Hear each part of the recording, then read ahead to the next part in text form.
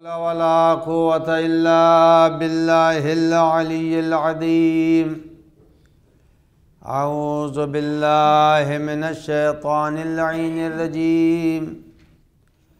بسم الله الرحمن الرحيم.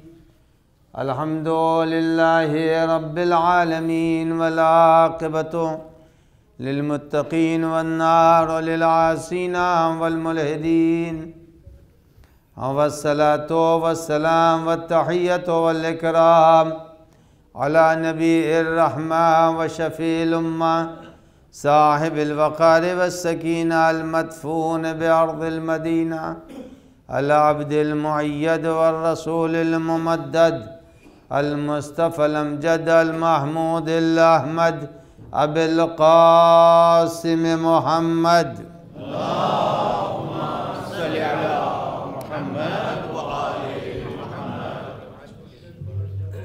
وعلى ابن أمه ووزيره ووصيه وخليفة نور الأنوار حجج الجبار والد الأئمة الأطهار قسيم الجنة والنار المولود في البيت ذي الأستار إمام المشارق والمغارب الذي يحبه فرض على الحاضر والغائب.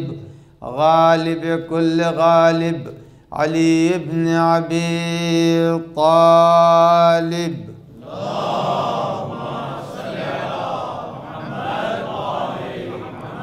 وعلى آله الطيبين الطاهرين المعصومين المنتجبين المخاطبين لا سيما. على بقية الله العظم حجة ابن الحسن المهدي.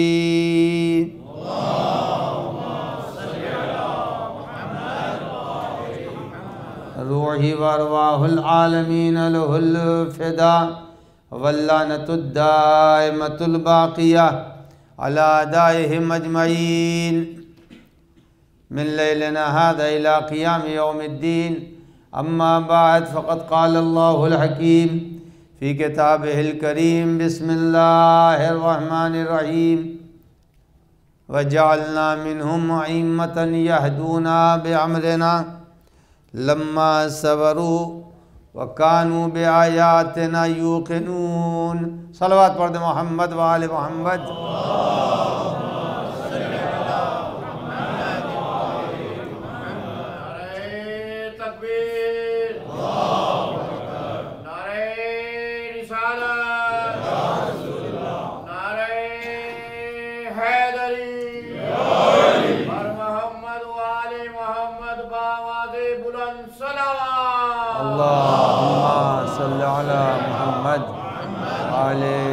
محمد۔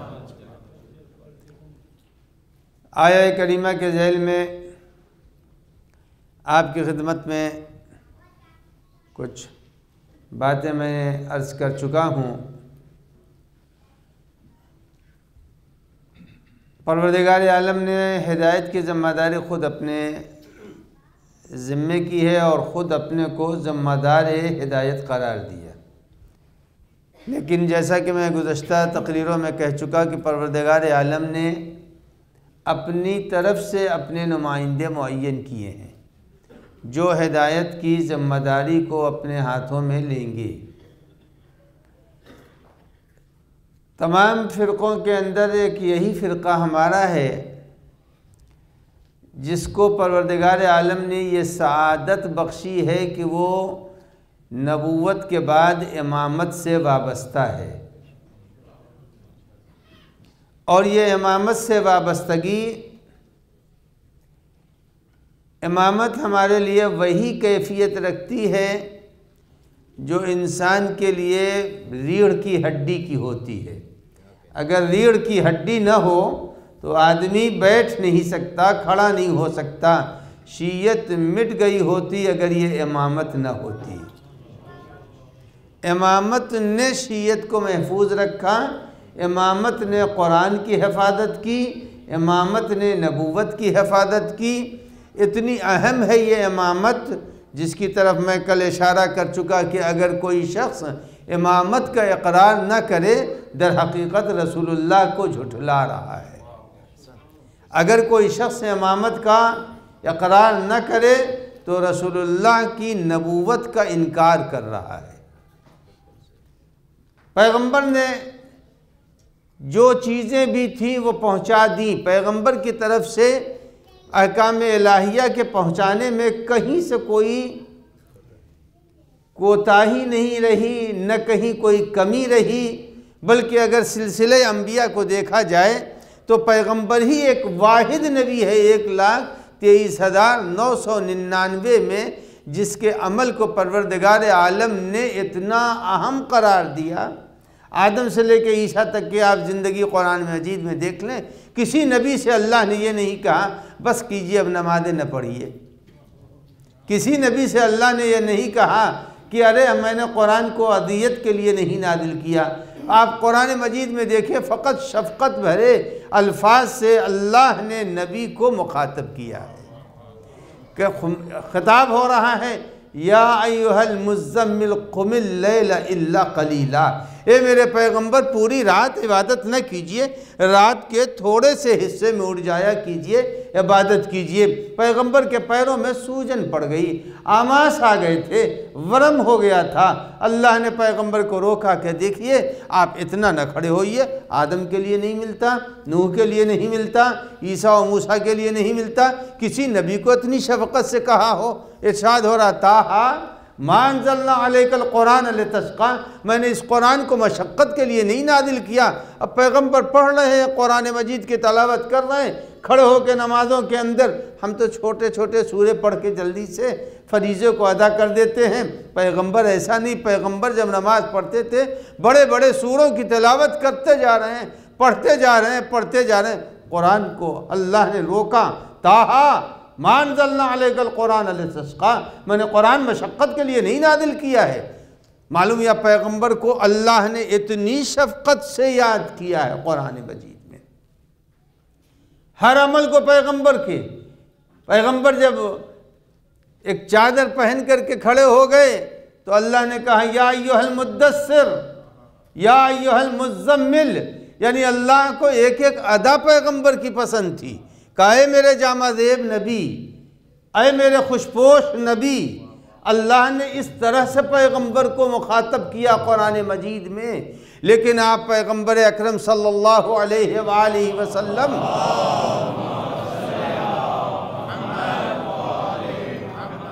کی حیات کے یہ ایک پہلو کو قرآن مجید میں تلاش کر لیجیے جس کی طرف میں نے اشارہ کیا، پیغمبر نے ایک طرف یہ زندگی گزاری، اتنی شفقتوں سے اللہ نے پیغمبر کو مخاطب کیا۔ لیکن ایک اہمیت عمل کی بنیاد پر، اہمیت عمل کی بنیاد پر پیغمبر کو اللہ مخاطب کر رہا ہے کہ اے پیغمبر، اذا فرقت فنسب اذا فرقت فنسب حج پر آپ تشریف لے جا رہے ہیں، تشریف لے جائیے۔ لیکن جب آپ حج کے فریضے کو ادا کر لیجیے گا، اذا فرقت فنسب تب آپ اپنی ذمہ داری کو ادا کیجیے گا اور کسی کو آپ امام بنا دیجیے گا۔ اذا فرقت فنسب پہلے ہی اللہ نے بیان کر دیا، اذا فرقت فنسب اور کہا، جب جا رہے ہیں، آپ جائیے، حج کر لیجیے۔ نو دل حجہ آئی۔ نو دل حجہ کو پروردگار عالم نے پھر پیغمبر کو مخاطب کیا کہ لعلک تارکن ما یوہا الیک۔ اے پیغمبر چھوٹنے نہ پائے۔ جو میں آپ سے کہہ چکا ہوں، آپ اس پیغام کو چھوڑیے گا نہیں۔ تاکید ہو رہی ہے، پیغمبر نے کوئی ایسا عمل نہیں تھا جو چھوڑا ہو۔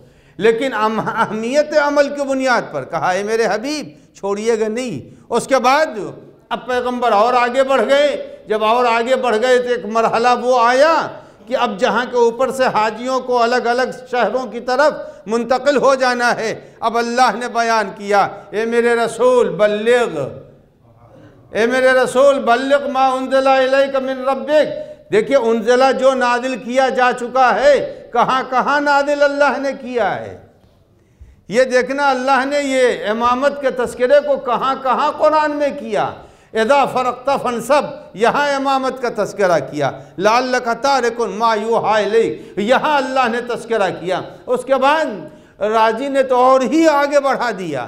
کہا، پیغمبر کی معراج میں اللہ نے پیغمبر کو جب بلایا تو کہا، دنا فتد اللہ وقاب قوسین او ادنا اس کی تفسیر میں راضی نے کچھ اور ہی لکھا ہے۔ اس کی طرف اشارہ کسی وقت کر دوں گا یا موقع ملا تو آج ہی آپ کی خدمت میں عرض کروں گا۔ تو پیغمبر کو اللہ نے قرآن مجید میں شفقتوں سے یاد کیا۔ لیکن اس کے بعد جب غدیر کا میدان آیا مدینے میں بیان کیا، اس کے بعد میدان عرفہ میں کہا، لعلک تارک ما یوحا الیک، پھر اس کے بعد اس مرکز کے اوپر پہنچنے کے بعد جہاں سے مجمع الگ ہونا ہے، وہاں کے اوپر کہا، بلغ ما انزل الیک من ربک۔ اے پیغمبر، جو آپ کو بتایا گیا ہے، جو نادل کیا جا چکا ہے، اسے پہنچا دیجیے۔ اس کے بعد قرآن مجید پیغمبر سے جو جملہ کہہ رہا ہے، وہ جملہ آپ بار بار سنتے رہتے ہیں۔ اِلَّمْ تَفْعَلْ۔ اِلَّمْ تَفْعَلْ۔ اگر یہ کار امامت انجام نہ پایا، تو فما بلغت رسالہ، یہ رسالت ہی ادھوری رہ جائے گی۔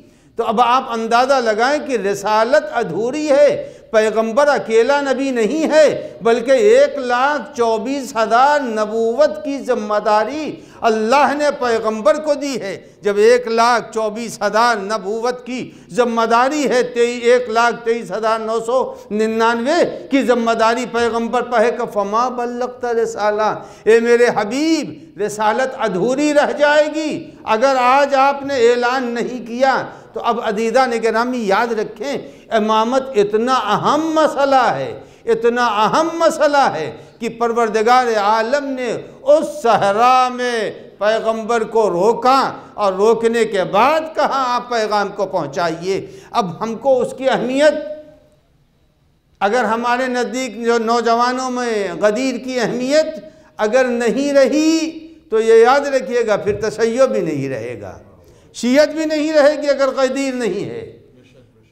امامت کی معرفت سے انسان کس منزل میں ہے؟ پیغمبر نے جتنے بھی احکام پہنچائے، چاہے وہ نماز کے ہوں یا روزے کو ہوں یا حج کے ہوں یا زکوٰۃ کے ہوں یا عمر بالمعروف کے، یہ جتنی کتابیں حصول کافی ہے، تہذیب ہے، من لا یادر ہے جتنے بھی احکام ہیں، ان سارے احکام کی نوعیت دو ہے۔ اس کی اہم نوعیت دو ہے۔ پیغمبر اکرم بہت غمگین ہے بے حد غمگین ہے چونکہ چچا کی شہادت ہوئی ہے۔ جناب حمدہ کی شہادت ہوتی ہے اور جناب حمدہ کی شہادت کے بعد پیغمبر کو شہادت ہی کا فقط ملال نہیں ہے، بلکہ جو جناب حمزہ کے ساتھ زیادتیاں ہوئی ہیں، اس زیادتی پر پیغمبر بہت مولول ہیں۔ حد درجہ پیغمبر مولول ہیں۔ پیغمبر کے غمزدہ وجود کو تھوڑی دیر کے لیے خوش کرنا اللہ نے چاہا۔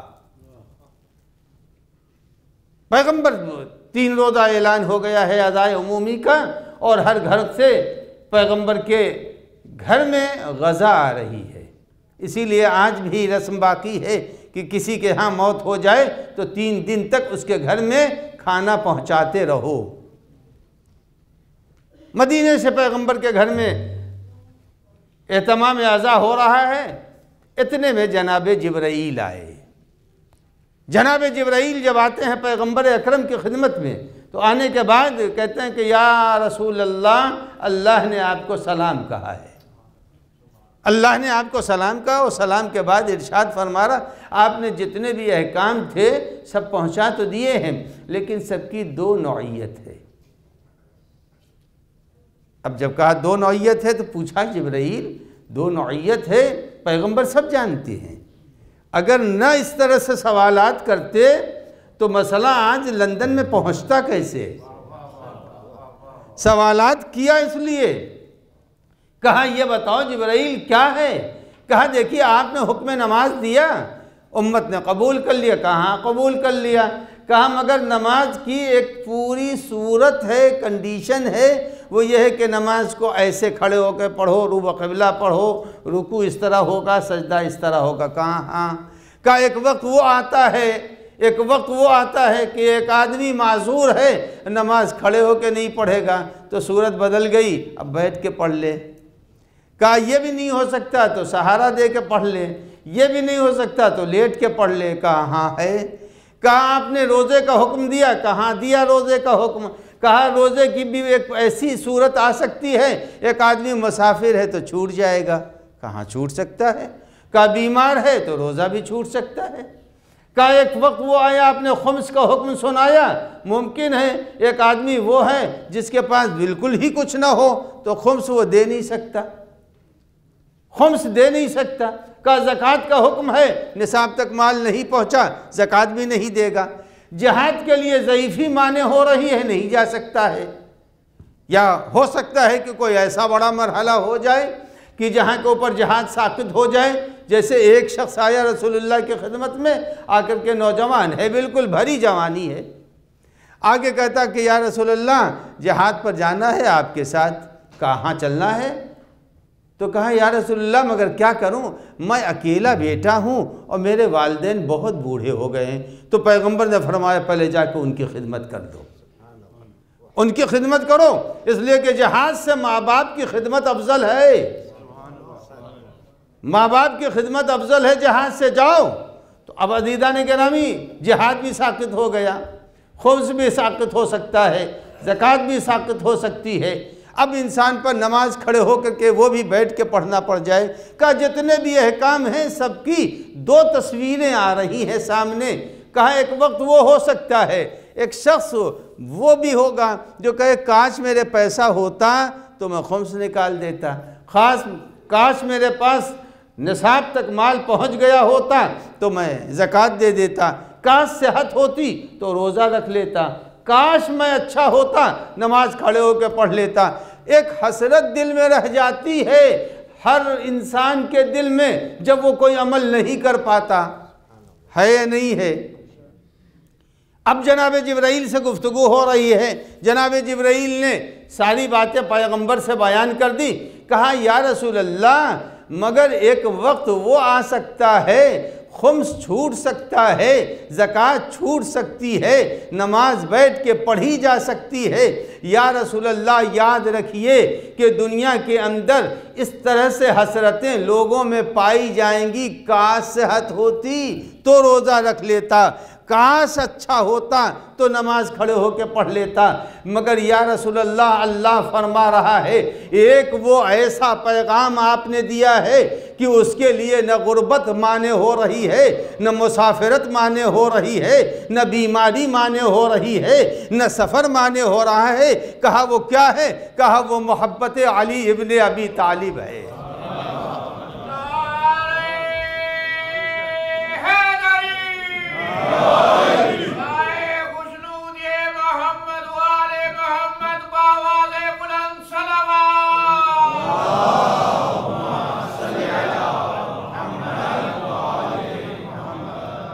کہا وہ علی ابن ابی طالب کی محبت ہے۔ غریب نہیں کہہ سکتا میں کیا کروں؟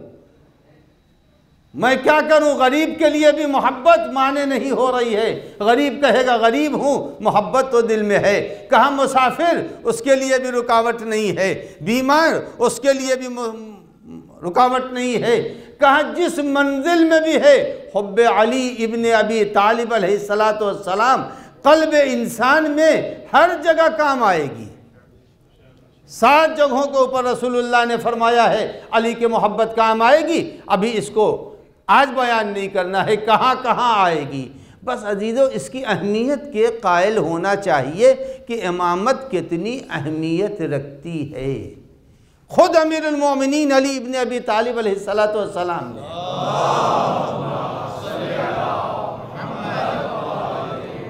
ایک ذرا بہتر انداز سے سلوات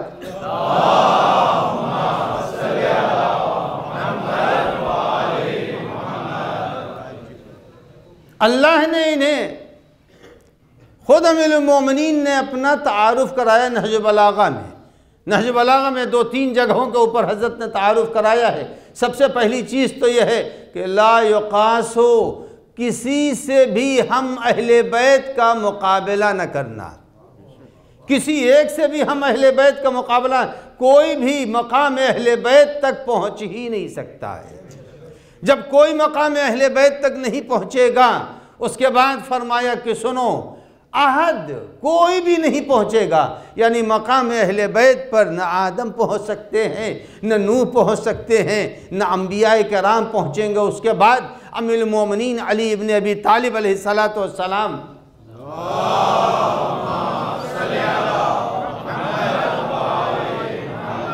پہچانے۔ اس کے بعد اس نعمت کے لیے ہمیں کیا کرنا چاہیے؟ فرماتے ہیں امیل مومنین نحج بلاغہ کے اندر تیسرا ہی خطبہ ہے انا محل منہا محل القطب من الرہا دیکھیے، یہ بات چلے لگی نہیں؟ کوئی اب یہ نہیں کہہ سکتا کہ صاحب، لندن میں تو ہم تو تھیلیوں کا آٹا کھاتے ہیں۔ ہم نہیں جانتے چکی کس کو کہتے ہیں۔ یہ سب یہاں نہیں چلے لے گا۔ یہ ہم چکی نہیں جانتے، چکی کس کو کہتے ہیں؟ مولانا، آپ چکی پڑھ رہے تھے، چکی کسے کہ نہیں چلے گا۔ ام المومنین نے رہتی دنیا کے لیے کلام کیا ہے۔ علی کا کلام کسی زمانے کے لیے نہیں تھا۔ ام المومنین کا کلام قیامت تک کے لیے ہے۔ تو جب قیامت تک کے لیے ہے تو جو بھی نحج بلاغہ میں ہے، اسے ہر انسان کو سمجھنا چاہیے۔ قرآن میں جو ہے، وہ قیامت تک کے لیے ہے۔ اب عدیدان گرامی، مولا فرما ان محلی منہا محل القطب من الرہا میری حیثیت کیسی ہے؟ میری حیثیت ہے کیا؟ اس کو پہچانو، میری حیثیت ہے کیا؟ تو مولا فرما ان محلی منہا، محل القطب من الرہا. کہا، چکی دیکھی ہے نا؟ نہیں دیکھی ہے تو دیکھ لیجیے گا۔ یوٹیوب پر جا کے چکی دیکھ لیجیے۔ آج تو دنیا چکی چلا ہی رہی ہے۔ سب چکی میں پسے جا رہے ہیں۔ کہاں میری مثال ایسی ہے جیسے چکی میں کیل کی ہوتی ہے۔ بزرگ سب جانتے ہیں۔ جیسے چکی میں کیل کی حیثیت ہوتی ہے، اگر یہ کیل نہ ہو تو چکی نہیں چلے گی۔ یہ چکی چل ہی نہیں سکتی یہ چکی اسی وقت چلے گی جب اس کے اندر کیل پائی جا رہی ہو۔ اللہ کے ولی نے اپنا تعارف کرایا، کہا، دیکھو، ہماری حیثیت ایسی ہے جیسے چکی کے لیے کیل کی حیثیت ہوتی ہے۔ چکی بغیر کیل کے نہیں چلے گی، کائنات بغیر امام کے نہیں چل سکتی ہے۔ کائنات کے لیے امام ضروری ہے بغیر امام کے۔ کائنات نہیں چلے گی۔ اس کے بعد، اب یہ بات ہو سکتا ہے میرے نوجوان طبقے کے، ذہن ادھر نہ جائیں، بزرگ سمجھ جائیں گے۔ چکی میں جب دانہ ڈالا جاتا ہے تو جو دانہ چکی سے ہٹے گا، وہی پسے گا۔ اور جو دانہ اس کیل کے پاس رہ جائے گا، وہ پسنے سے بچ جائے گا۔ وہ دانہ کبھی نہیں پسے گا جو اس کیل کے قریب جڑا ہوا ہے۔ عدیدہ نے گرامی مولا نے یہی فرمایا، یاد رکھنا کہ جیسے کیل کے درمیان اگر دانہ وہاں گھیرا ہوا ہے تو وہ چکی اور پاٹ کے درمیان نہیں آئے گا۔ اگر تم مجھ سے جڑے رہو گے، زمانے کی چکی چلتی رہے گی، مگر تم محفوظ رہو گے۔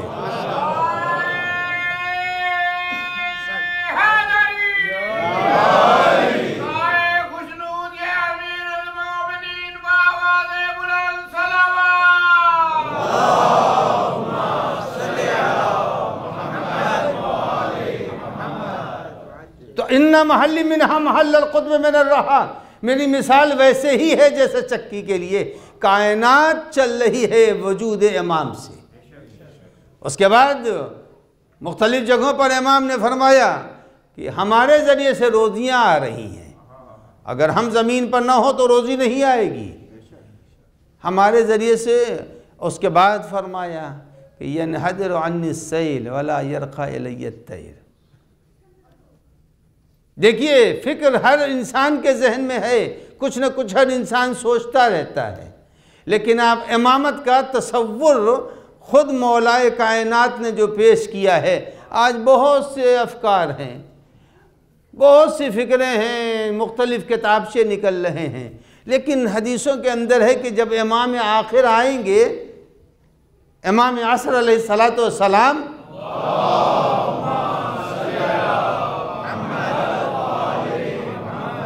تو فکریں ایک ہو جائیں گی۔ اب اس کو نوجوانوں کو سمجھا دوں کیسے فکریں ایک ہو جائیں گی۔ امام کے آ جانے کے بعد فکر ایک ہو جائے گی۔ دیکھیے اس وقت رات ہے۔ رات میں مختلف چراغ جل رہے ہیں۔ لیکن جب سورج نکلتا ہے تو سارے چراغ بجھا دیے جاتے ہیں۔ ایک سورج کی روشنی کافی ہوتی ہے۔ کہا غیبت کے اندھیرے میں ہر فکر کا چراغ جل رہا ہے۔ لیکن جب ظہور کی صبح ہوگی تو سارے چراغ فکر بجھ جائیں گے۔ امامت کی ایک فکر ہوگی جو ساری کائنات کے اوپر غالب آ رہی ہوگی۔ آئے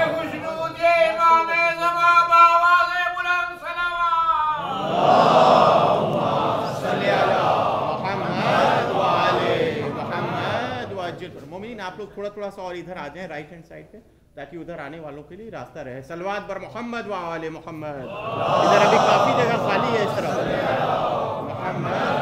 آگے آ جائیں آگے بھی کافی جگہ ہے۔ سلوات تکبیر۔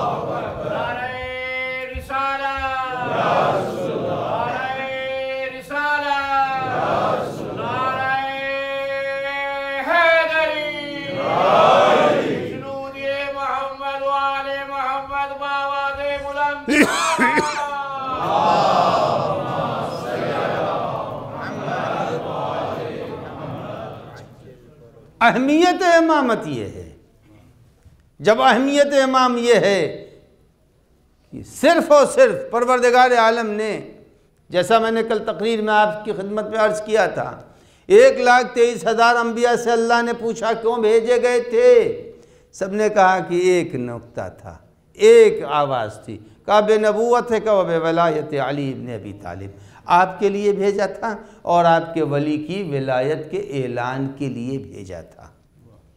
تو اللہ نے بھیجا ہے سارے انبیاء کو زمین کے اوپر۔ اب ایک مسئلہ یہ ہے کہ جو میں نے کل آپ کی خدمت میں وعدہ کیا تھا کہ امیر المومنین علی بن ابی طالب کو پیغمبر نے فرمایا کہ علی، آپ ہی جنت اور جہنم کے تقسیم کرنے والے ہیں۔ جہنم اور جنت میں جو اس کو جنت میں جانا ہے، وہ بھی آپ ہی کے ذریعے سے جائے گا۔ جس کو جہنم میں جانا ہے، وہ بھی آپ ہی کے ذریعے سے جائے گا۔ اب سوال یہ ہوتا ہے، امام جعفر صادق علیہ السلام سے پوچھا، کہ یہ کیسے ممکن ہے کہ مختلف انبیاء کے زمانے کے لوگ اور سب کی مغفرت کا انحصار ذات علی ابن ابی طالب علیہ السلام پر ہو۔ امام نے جو جواب دیا، اس جواب کو اگر میں ایک چھوٹی سی مثال کے ساتھ بیان کر دوں تاکہ ہر ذہن میں بات پہنچ جائے۔ ابھی آپ حضرات اس حال میں بیٹھے ہوئے ہیں۔ اور اس میں کچھ دیر پہلے سوزخانی کا سلسلہ رہا۔ اس کے بعد سوز و سلام کا سلسلہ رہا۔ پھر اس کے بعد یہ مجلس کا سلسلہ۔ پھر اس کے بعد نوحے کا سلسلہ۔ یہ سلسلہ چل رہا ہے یا نہیں چل رہا ہے؟ اب آپ عزیزہ گرامی یاد رکھیے گا کہ ایک لاکھ چوبیس ہزار انبیاء ذاکر ہیں۔ ایک لاکھ چوبیس ہزار انبیاء ذاکر ہیں۔ اب یہاں کے اوپر جس وقت آپ تک مجلس میں تشریف لائے کچھ وہ ہیں جو پہلے آ گئے، کچھ وہ ہیں جو بعد میں آئے، کچھ وہ ہیں جو بالکل بعد میں آئے، کچھ وہ ہیں جو مصائب میں پہنچیں گے۔ ہے یہ سلسلہ نہیں مجلسوں کا، آئیں گے، لیکن جو تبرک دینے والے ہیں، نہ وہ یہ دیکھتے ہیں کہ پہلے کون آیا ہے، نہ یہ دیکھتے ہیں بعد میں کون آیا ہے۔ وہ کچھ نہیں دیکھتے، ہر آنے والے کو تبرک دیتے جاتے ہیں۔ بس وہ یہ دیکھتے ہیں، فرش ادا پر آیا یا نہیں آیا؟ فرش ادا پر آیا یا نہیں آیا؟ اگر فرش ادا پر آ گیا، مستحق تبرک ہے۔ تبرک تقسیم کرنے والا یہ قطن نہیں دیکھتا۔ کون آیا ہے، کون نہیں آیا؟ یہ دیکھتا ہے فرش ادا پر آیا یا نہیں آیا؟ جب فرش ادا پر آ گیا، کہاں اب جائے گا؟ ایک لاکھ چوبیس ہزار سارے انبیاء یہ اللہ کے دین کے ذاکر تھے اور جب ذاکر تھے، آخری نظام علی کے ہاتھوں میں آیا۔ علی نے یہ دیکھنا شروع کیا، تم فرش آدم پر بیٹھے تھے کہ نہیں بیٹھے تھے؟ فرش نوح پر آئے تھے یا نہیں آئے تھے؟ فرش موسیٰ پر بیٹھے تھے یا نہیں بیٹھے تھے؟ فرش عیسیٰ پر آئے تھے یا نہیں آئے تھے؟ اگر تم انبیاء کے فرش پر بیٹھے تھے تو ہم تمہارے لیے فیصلہ آج کریں گے۔ ایک صلوات پڑھنے محمد و آل محمد.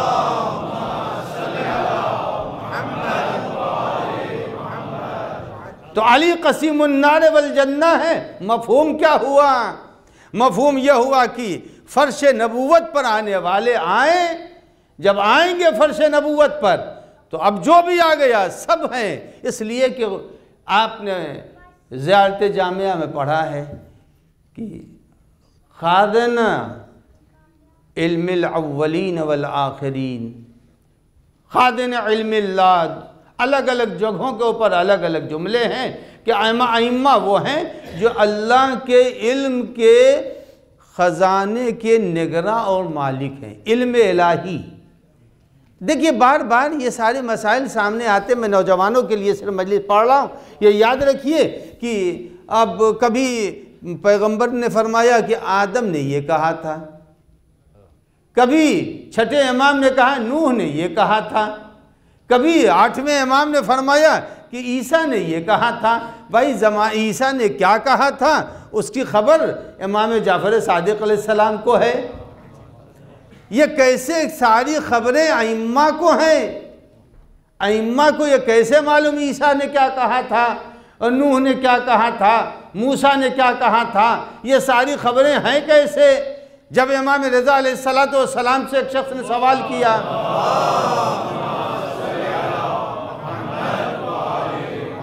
کون بتائے گا؟ کون بتائے گا؟ یا تو اناب شناب؟ یہ صرف اور صرف فقہ محمد و آل محمد پر باقی رہنے والے بتا سکتے ہیں۔ نہ، کسی کے پاس جواب ہی نہیں ہے۔ اتنا اہم سوال کیا امام رضا سے۔ کسی فرقے کا عالم دین جواب نہیں دے سکتا تھا۔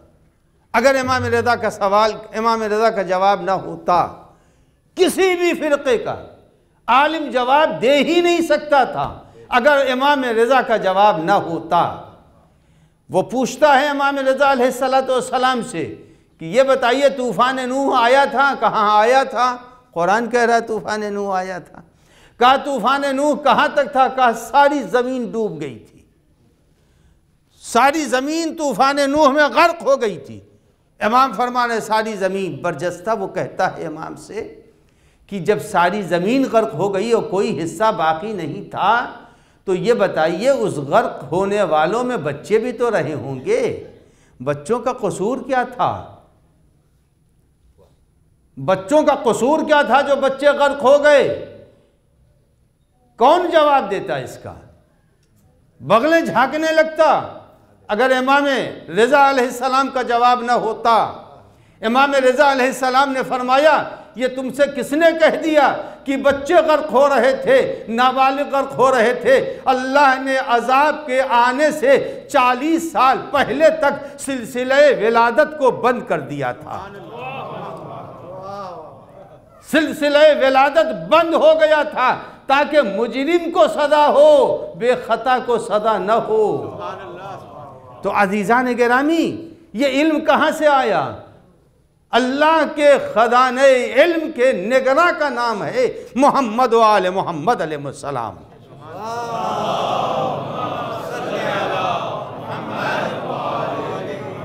آپ دیکھیں آج کی دنیا کے اندر، جو سسٹم آج کل چل رہا ہے موبائل کا اور اس کا اس کا ہمیں خبر نہیں ہوتی۔ لیکن یہ تو سبھی آج کا نوجوان جانتا ہے، یہ ساری باتیں کہیں نہ کہیں ریکارڈ ہیں۔ ایسا تو نہیں ہے کہ یہ سب ہوا میں گم ہو گئی۔ کہیں نہ کہیں ریکارڈ تو ہیں۔ لیکن جب کوئی ذمہ دار ملک کا چاہتا ہے، وہ ساری خبروں کو لے لیتا ہے، سارے مکالموں کو معلوم کر لیتا ہے۔ اب عزیزان گرامی، یاد رکھیے گا، آدم نے اپنی امت سے کیا کہا؟ نوح نے اپنی امت سے کیا کہا؟ موسیٰ و عیسیٰ نے اپنی امت سے کیا کہا؟ ساری باتیں خدان الہیہ میں موجود تھی۔ جب موجود ہیں، اللہ نے کہا، یہ سارے انبیاء کی گفتگو ہمارے خزانے میں موجود ہے اور ہم اس خزانے کا نگرہ تم کو بنا رہے ہیں۔ تم اس خزانے کے ذمہ دار ہو۔ اب آدم کی گفتگو سطح امام بیان کر رہے ہیں۔ نوح کی گفتگو کو ساتویں امام بیان کر رہے ہیں۔ صلوات پڑھ دیں محمد و آل محمد۔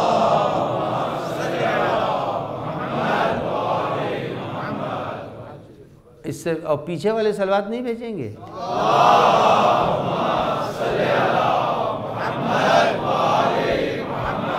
میں سب کو دیکھ رہا ہوں۔ پیچھے والوں کو بھی دیکھ رہا ہوں، آگے والوں کو بھی دیکھ کرسی نشینوں کو بھی دیکھ رہا ہوں۔ اور اگر سلوات نہیں بھیجیں گے تو ہمارا تو کچھ نہیں ہوگا۔ جب جنت کے دروازے پر پہنچیں گے حوریں مہر مانگیں گی۔ ہمارا مہر لائیے۔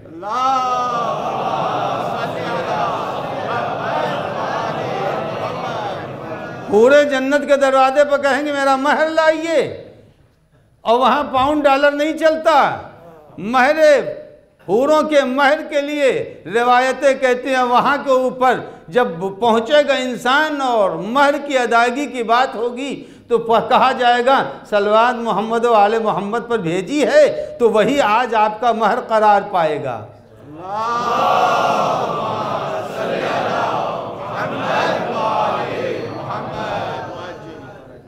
آئیے عزیزان گرامی، اللہ نے معصوم کو بھیجا ہے اور معصومین علیہ السلام، چاہے وہ آدم ہو یا امام عصر علیہ السلام، تو جتنے معصوم ہیں، اللہ نے سب کو بھیجا ہے کیوں؟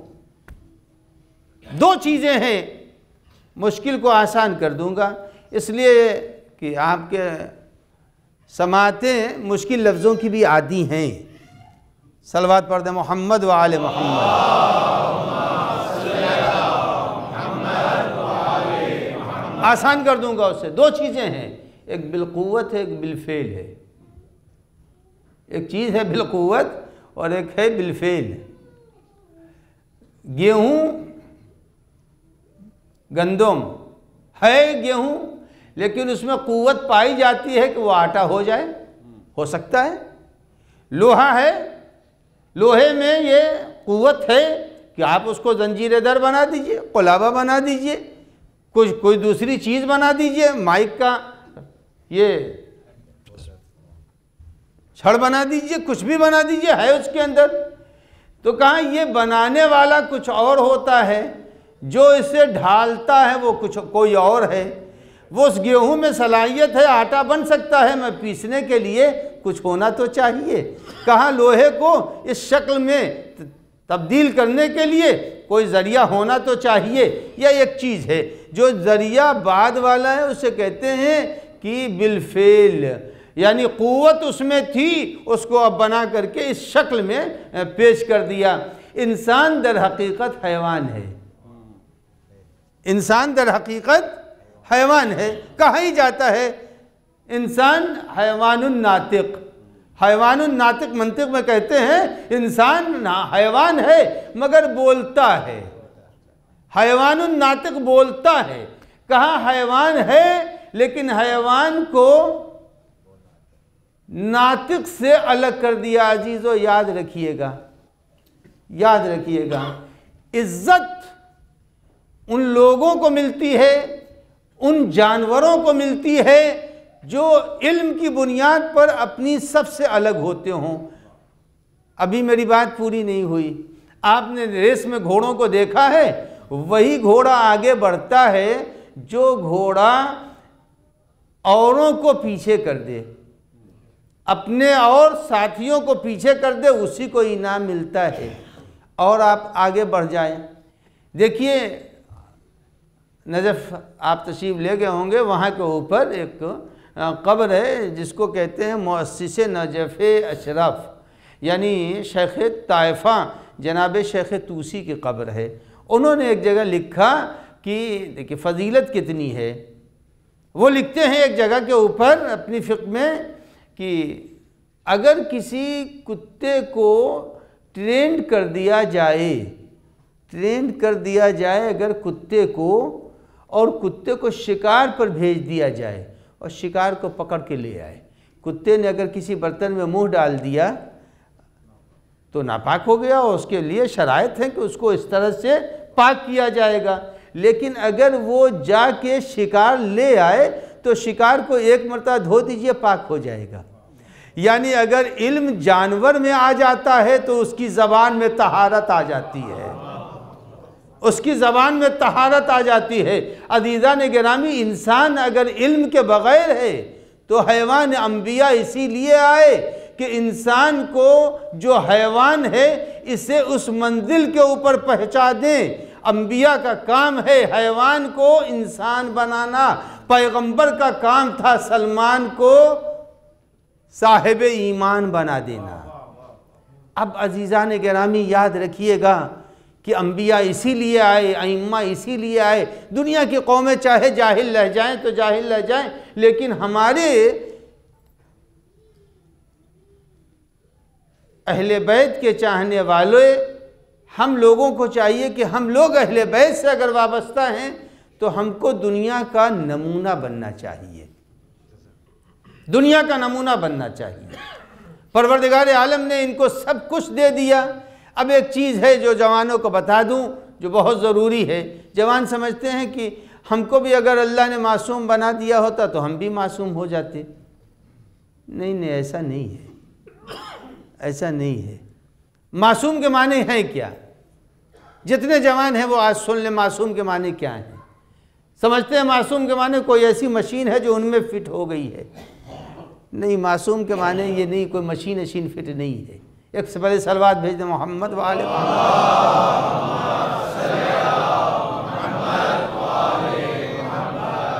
کوئی مشین فٹ نہیں ہے۔ تو معصوم کہتے کس کو ہیں؟ نام سنا ہوگا، اس میں اکثر نوجوانوں نے پڑھتے بھی ہیں، ماشاءاللہ۔ علامہ تبا تبائی کا نام سنا ہے۔ علامہ تبا تبائی اس صدی کا نابغہ اور اس صدی کا بہترین جینیس انسان انہوں نے تفسیر لکھی ہے، جس تفسیر کا نام ہے تفسیر المیزان۔ تفسیر المیزان میں لکھتے ہیں، عصمت کہتے کس کو ہیں۔ میں اس کو ایک پہلے ان کی بات کو بیان کرنے سے پہلے ایک چھوٹی سی مثال دے دوں تاکہ بات بہت آسان ہو جائے۔ گلاس میں پانی رکھا ہوا ہے، گلاس بھرا ہوا ہے، ہم نے نہیں دیکھا۔ آپ نے دیکھ لیا کہ اس گلاس کے اندر ایک پرندے نے آ کر کے منہ ڈال دیا اور اس نے اس میں گلاس میں پانی پی لیا۔ ہمیں نہیں معلوم۔ آپ کو معلوم ہے۔ اب آپ اس گلاس کے پانی کو نہیں پئیں گے، اس لیے کہ اس کے اندر پرندے نے آ کر کے چونچیں ڈال دی ہیں اپنی۔ آپ نہیں پئیں کیوں نہیں پی رہے ہیں؟ وجہ کیا ہے؟ کیوں نہیں استعمال کر رہے ہیں؟ چونکہ آپ نے آنکھ سے دیکھا ہے کہ اس گلاس کے پانی میں ایک پرندے نجس نے آ کر کے چونچ ڈال دی ہے، لہذا آپ نہیں پئیں گے۔ بس یہی وجہ ہے، اور کوئی وجہ تو نہیں ہے۔ کوئی اس کے علاوہ وجہ تو نہیں، ایک پرندے نجس نے آ کر کے اس گلاس میں چونچ ڈال دی، آپ پانی نہیں پئیں گے۔ مجھے نہیں معلوم، میں آیا، میں نے پی لیا۔ میں گنہگار تو نہیں ہوا، چونکہ میں نے دیکھا نہیں۔ آپ نے آنکھوں سے دیکھا، لہذا نہیں پیا۔ ایک شخص جس نے نہیں دیکھا، اس نے استعمال کر لیا۔ عدیدان گرامی، فرق یہی ہے۔ یہ آپ نے نہیں پیا، کیوں نہیں پیا؟ اس لیے کہ آپ کے پاس علم تھا۔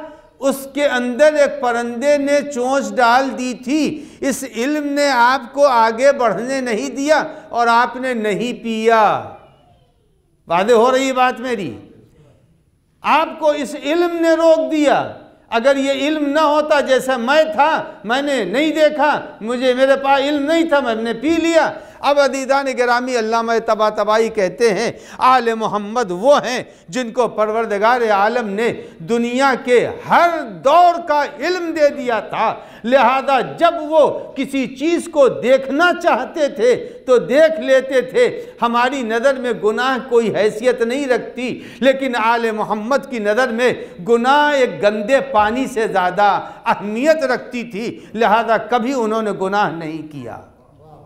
معلوم یہ ہوا کہ گناہ ان سے سرزد نہیں ہوا، اس لیے نہیں کہ وہ معصوم ہے۔ معصوم کہتے ہیں کمال علم کو۔ کمال علم کا نام عصمت ہے۔ علامہ تبا تبائی نے کہا، جتنا علم بڑھتا جائے گا، عصمت اتنا ہی قوی ہوتی جائے گی۔ اور جتنا علم کم ہوگا، اتنا ہی عصمت کم ہوگی۔ اس کے بعد سنیے عدالت عدالت بہت کہا، کیا جاتا ہے، عدالت فلاں بہت عادل ہے۔ عادل کے معنی کیا ہوتے ہیں؟ عادل کس کو کہتے ہیں؟ اب عادل کی تشریح کیا ہے؟ عادل کس کو کہتے ہیں؟ عادل کے معنی ہوتے ہیں جس کی نمازیں نہ چھوٹے، جس نے گناہ برملا نہ کیا ہو، وہ عادل ہے۔ بعض جگہوں کے اوپر تو یہ ہے کہ اگر کوئی شخص نمازیں پنجگانہ مسجد میں ادا کر رہا ہے، تو آپ اس کو عادل مان لیجیے۔ جو مسجد میں نمازیں ادا کر رہا، اب مسجد ہی دور ہے، تو اس کے معنی یہ تھوڑی ہے کہ وہ عادل نہیں ہے۔ اب بوڑھا آدمی ہے، نہیں جا سکتا مسجد میں، تو اس کے معنی عادل نہیں ہے۔ یعنی برملا جو گناہ نہ کرے۔ تو فرما رہے ہیں صاحب صاحب المیزان کہ اگر علم بڑھتا جائے گا تو عصمت بڑھتی جائے گی۔ علم اگر گھٹتا رہے گا، تو گھٹتے گھٹتے گھٹتے عدالت بھی اس کی گھٹ جائے گی۔ کہ بہت سے لوگ ایسے ہیں دنیا کے اندر جو مشکوک چیزیں نہیں کھاتے۔ مشکوک چیزیں بہت سی جگہوں کے اوپر، ویسے ہمارے یہاں بہت سے لوگ ایسے ہیں جو بہت احتیاط کرتے نہیں کھاتے۔ بہت سے لوگ جو مکہ مکرمہ میں جاتے ہیں تو وہاں کہتے ہیں، نہیں بھائی، وہاں گوشت نہیں کھاؤں گا۔ احتیاط کا تقاضا ہے۔ تو علم جتنا بڑھتا جاتا ہے، احتیاط بڑھتی جاتی ہے۔ پروردگار عالم نے آل محمد کو سارے علوم دیے تھے۔ کوئی ایسا علم نہیں تھا۔ ہا ہونا علم جمع۔ ہم علم فرماتے تھے، یہاں ہمارے علم بھرا ہوا کوئی پوچھنے والا نہیں ہے۔ اب اس کے بعد، عزیزان گرامی، یہ یاد رکھیے گا کہ آپ نے دیکھا ہوگا فانوس۔ فانوس لٹک رہا ہے، اس میں مختلف بلب ہیں۔ ایک کوئی سرخ ہے، کوئی سفید ہے، تو کوئی نیلا ہے، کوئی پیلا ہے۔ ایک بڑا بلب اندر اس کے پڑا ہوا ہے۔ اور سارے شیشوں سے الگ الگ روشنی نکل رہی ہے۔ کہیں نیلی نکل رہی ہے، کہیں پیلی نکل رہی ہے، کہیں زرد نکل رہی ہے۔ الگ الگ فانوس میں ایک بلب ہے، لیکن شیشے الگ الگ ہیں۔ روشنی کس کی ہے؟ ایک بلب کی ہے یا الگ الگ شیشوں میں ہے؟ ایک بلب ہے جو اس فانوس کے اندر ہے اور الگ الگ شیشوں کو روشنی دے رہا ہے۔ یہ دیکھا ہے، سب نے دیکھا ہے۔ پیغمبر نے یہی فرمایا۔ یہی فرمایا کیا دیکھو ایک علم علی ہے جو انبیاء میں بھی پایا جا رہا ہے، کہ اگر کسی کو دیکھنا ہے، آدم کا علم دیکھنا ہے، تو علی کو دیکھ لے، نوح کا شکر دیکھنا ہے، تو علی کو دیکھ لے، موسیٰ کی حیبت دیکھنی ہے، تو علی کو دیکھ لے، عیسیٰ کا زہد دیکھنا ہے، تو علی کو دیکھ لے۔ ایک لاکھ تیئیس ہزار انبیاء میں جو خوبیاں، پراگندہ تھیں، اللہ نے سب کو جمع کر کے ذات علی میں اتار دیا۔ ہے ایک سلوات پڑھ دیں، محمد وآل محمد۔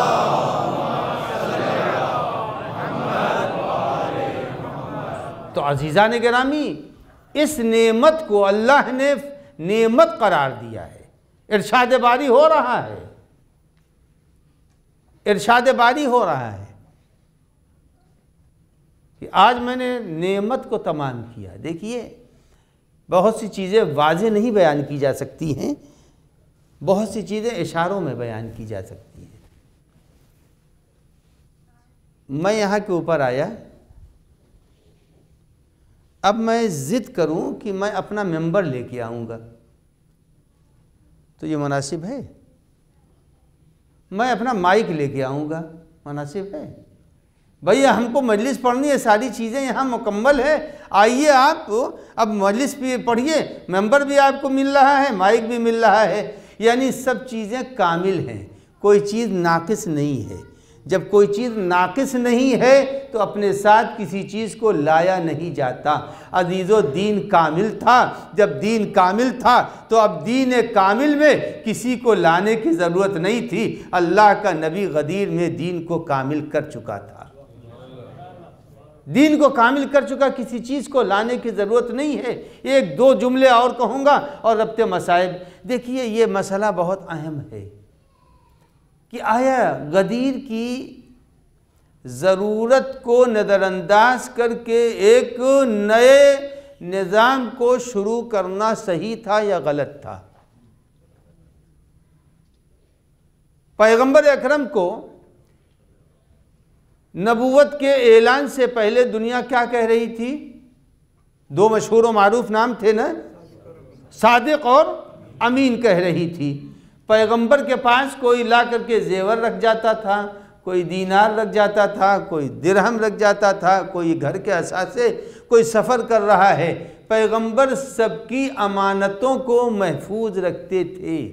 رکھتے تھے یا نہیں رکھتے تھے؟ سب کی امانتیں پیغمبر کے پاس محفوظ تھیں اور سب پیغمبر کو امین بھی کہہ رہے تھے اور صادق بھی کہہ رہے تھے۔ یعنی پبلک جب امانت دے دے تو اس میں پیغمبر اتنی امانت کا خیال کر رہا ہو اور اللہ نے جو دین دین کو امانتاً دیا ہے، پیغمبر اس کے لیے کوئی اہتمام نہیں کرے گا۔ یعنی پیغمبر عوام کی امانت کو اتنی حفاظت سے رکھے۔ اور اللہ نے جس دین کو دیا تھا، اس کے لیے کوئی وارث کو معین نہ کرے، جبکہ پیغمبر کی حدیث ہے، بات طولانی نہ ہو جائے، اس لیے میں اختصار سے بیان کر رہا ہوں۔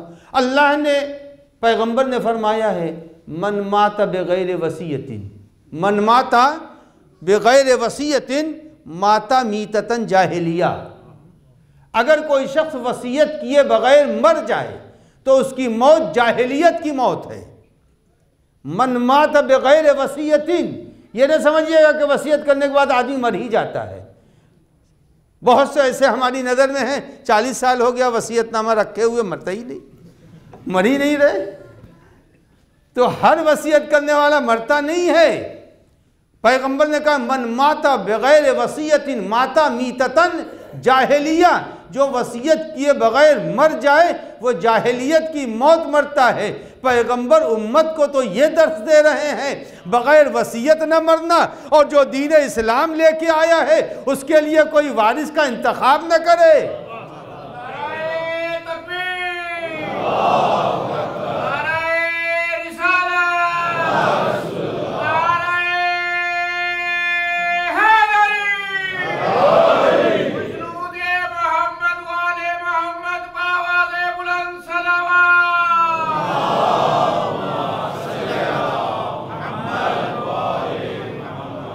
تو پیغمبر اکرم صلی اللہ علیہ وآلہ وسلم نے فرمایا، جو بغیر وسیعت کے مر جائے، ماتا، جلدی بیان کیجیے، ماتا میتتن جاہلیہ۔ جو بغیر وسیعت کے مر جائے، اس کی موت جاہلیت کی ہے۔ اب اسی سے ملتی جلتی حدیث، من ماتا ولم یارف امام زمان ہی ماتا میتتن جاہلیہ۔ کہا، دیکھو وسیعت کے بغیر مرنے والا، وہ بھی جاہلیت کی موت مر رہا ہے۔ امام وقت کو نہ پہچاننے والا، وہ بھی جاہلیت کی موت مر رہا ہے۔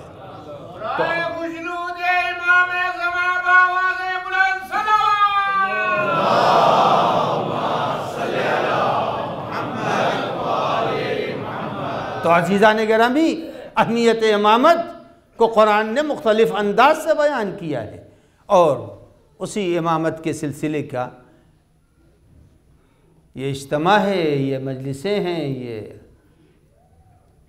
آہوزاریاں ہیں۔ آج شب پنجم ہے۔ آج شب پنجم ہے۔ چار تاریخیں گزر چکی ہیں۔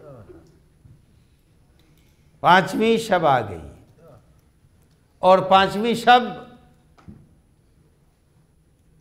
منسوب کی گئی ہے حر ابن یزید ریاہی سے۔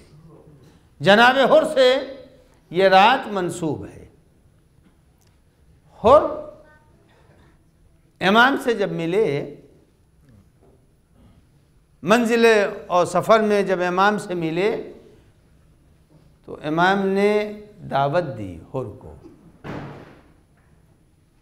حر کے لشکر کو امام نے پانی پلایا۔ اور جب پانی پلا چکے، وقت نماز آیا تو امام نے کہا، حر، تم میرے ساتھ نماز پڑھو گے یا اپنے لشکر کو الگ نماز پڑھاؤ گے؟ تو حر نے کہا، نہیں، میں آپ کے ساتھ نماز پڑھوں گا۔ حر امام کے ساتھ نماز ادا کر رہے ہیں اور حر کے دل میں ایک نرم گوشہ ہے۔ نرم گوشہ حر کے دل میں ہے۔ اور امام کی گفتگو کو سن رہے ہیں وہ اور چاہتے ہیں کہ امام کی بات پر عمل کریں۔ اتنے میں کوفے سے تیز رفتار سوار آیا اور آنے کے بعد اس نے ایک خط حر کو دیا۔ جب حر کو خط دیا، اس خط میں یہ لکھا ہوا تھا کہ جس جگہ کے اوپر بھی ہوں، حسین سے پانی، سبزے، سائے سب چھین لیے جائیں اور کسی ایسی جگہ پر نہ ٹھہرنے پائیں جہاں سایہ پایا جا رہا ہو، جہاں پانی پایا جا رہا ہو، جہاں سبزہ پایا جا رہا ہو۔ حر نے خط لیا اور لینے کے بعد امام حسین کے سامنے رکھ دیا۔ اور کہا، مولا، یہ جاسوس بھی ہے۔ نامہ بر فقط نہیں، خط لے کے نہیں آیا، یہ جاسوس بھی ہے۔ میں مجبور ہوں۔ میں مجبور ہوں۔ مگر حر کے دل میں خلش تھی کہ میں امام وقت کی بات پر عمل نہیں کر پا رہا ہوں۔ چلتا رہا قافلہ۔ چلتے چلتے جب کربلا میں قافلہ پہنچ گیا۔ اور جب کربلا میں قافلہ پہنچا ہے اور دن گزرنے لگی۔ پہلی گزر گئی۔ دوسری گزر گئی، تیسری گزر گئی، چوتھی گزر گئی، پانچویں گزر گئی، تاریخیں گزرتی جا رہی ہیں۔ وہ تاریخ آ گئی جس کو کہتے ہیں شب عاشور۔ جب شب عاشور آئی، اب حر کے اندر تاب نہ رہی۔ حر کہتا ہے کہ رات کے سناٹے میں جب خیمے حسینی سے بچوں نے کہا، ہائے پانی بابا پیاس لگی ہوئی ہے۔ حر کہتا ہے میرا دل اندر سے منقلب ہو گیا کہ حسین کے بچے پانی مانگ رہے ہیں اور ہمارے یہاں کے گھوڑے تک پانی سے سیراب ہو رہے ہیں۔ ہمارے یہاں کے گھوڑے تک پانی سے سیراب ہو رہے ہیں۔ اور رات کسی بے چینی سے گزار کر قریب صبح بیٹے سے کہتا ہے، اے بیٹا، میں جا رہا ہوں حسین کی طرف۔ تمہیں رہنا ہے تو رہو، یا ساتھ چلنا ہے تو چلو۔ بیٹے نے کہا، بابا، سعادت کی طرف تو آپ جا رہے ہیں۔ ارے، میں بھی آپ کے ساتھ چلوں گا۔ ہر نے پھر اپنے غلام سے کہا کہ، اے میرے غلام دیرینہ میں تمہیں آزاد کر رہا ہوں۔ میں چلا حسین کی طرف۔ غلام نے کہا، جب تک جہنم میں رہے تو آپ نے اپنے ساتھ رکھا۔ اب جنت کی طرف جا رہے ہیں تو آپ نے مجھے چھوڑ دیا۔ میں بھی چلوں گا حسین کی طرف۔ میں یہاں تک آپ کے ذہنوں کو لایا۔ اب سنیے ذرا مصائب کے فقری حر نے بیٹے سے کہا، اے بیٹا، میری آنکھوں پر پٹی باندھ دو۔ میں گنہگار ہوں اور میرے ہاتھوں کو رومال سے باندھ دو۔ ہاتھ بھی بندھا ہوا ہے اور آنکھوں پر پٹی بھی ہے۔ ایک گنہگار کی طرح سے ہور حسین کے خیمے کی طرف بڑھ رہا ہے۔ اور پو پھوٹنے والی ہے۔ سہر ہو رہی ہے۔ نمودار ہو رہے، اس نے بیٹے سے پوچھا، اے بیٹا، خیمہ کتنی دور رہ گیا؟ حسین کا خیمہ کتنی دور ہے؟ کہا بابا پہنچ رہا ہوں؟ پھر پوچھا، کچھ نظر آ رہا ہے؟ کہا ہاں سید الشہداء خیمے سے باہر ہے کہا، پھر آگے لے چلو، آگے لے چلے۔ چلتا رہا، بیٹا باپ کو لے کے چلتا رہا خیمے کے قریب پہنچا، اپنے کو امام کے قدموں پر گرا دیا۔ قدموں پر گرانے کے بعد امام نے اپنے سینے سے لگایا اور ایک جملہ کہا، امتا حرون پھر دنیا والآخرہ۔ اے ہر دنیا میں بھی آزاد ہے، آخرت میں بھی آزاد ہے۔ عدید و مصائب تمام کر دیتا۔ مصائب تمام کر دیتا، لیکن پھر تھوڑے مصائب کے جملے اور سن لیں۔ امام کے پاس ہو رہا ہے۔ امام نے کیا جملہ کہا؟ امام جیسا سخی ابن سخی ہر کو کلیجے سے لگا کے کہتا ہے، اے ہر مجھے شرمندگی ہے، میں تمہیں پانی بھی نہیں پلا سکتا۔ ارے، یہ سننا تھا۔ ہر کا کلیجہ پھٹ گیا۔ کہا، مولا، اب نام نہ لیجیے۔ ارے، رات بھر میں سکینہ کی آواز استغاثہ سن رہا تھا۔ جزاکم ربکم۔ ہر نے میں امام سے کہا، اے مولا، اب دیر نہ کیجیے، مجھے مرنے کی اجازت دے دیجیے۔ امام نے کہا، اے ہور، تم میرے مہمان ہو۔ کہا، نہیں آقا، میں نے جسارتیں کی ہے مجھے اجازت دے دیجیے۔ جب ہر نے سرار کیا، فرزند زہرہ نے کہا، اے ہور تم رک جاؤ، اپنے بیٹے کو بھیج دو۔ ہر نے اپنے بیٹے کو میدان کارزار میں بھیجا۔ اور جب بیٹا میدان کارزار میں پہنچا ہے، ایک جنگ کی ہے۔ جنگ کرنے کے بعد زخمی ہوا۔ زخمی ہو کے جب زمین پر گرا ہے، باپ کو نصرت کے لیے بلایا۔ جب باپ کو نصرت کے لیے بلایا ہے، ہر نے کمر کسنا شروع کیا۔ امام نے پوچھا، ہر کہاں جا رہے ہو؟ کہا، مولا، ارے بیٹا میدان کارزار میں بلا رہا ہے۔ امام نے کہا، رک جاؤ ہو۔ ارے، کہیں جوان کی میت پر بوڑھا باپ جاتا ہے۔ اے آقا، یاد رکھیے گا۔ ارے، ہر کو جانے نہ دیا۔ مگر جب علی اکبر آواز دے رہے تھے، ارے، حسین لڑکھڑاتے قدموں سے۔ ارے، میدان کربلا میں گئے۔ آواز دے رہے ہیں۔ اے میرے لال، اے میرے لال علی اکبر۔